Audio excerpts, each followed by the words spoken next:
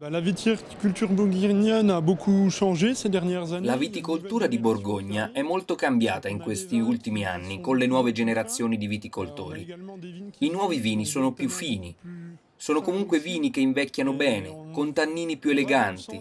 Si va verso vini da consumarsi più velocemente.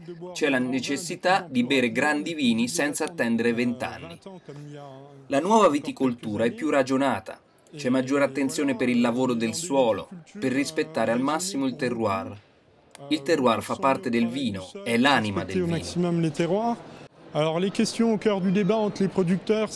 Un problema al centro del dibattito tra i produttori di Borgogna è la flavescenza dorata.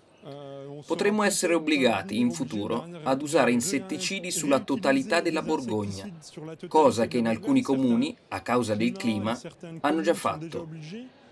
C'è poi il problema della nuova drosofila, la drosofila Suzuki, che depone le uova nell'uva e per debellarla occorre trattare i grappoli. I grappoli infestati dalla drosofila non possono essere usati per la vinificazione e nel 2014 alcune vigne hanno avuto il 50% delle viti rovinate.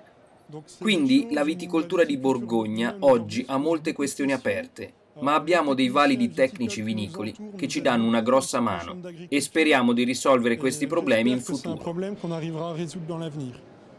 Volendo parlare dei punti di forza e delle criticità dei vini italiani, devo dire che non sono un profondo conoscitore di questi vini, ma ero convinto che fossero molto potenti, con una gran carica alcolica.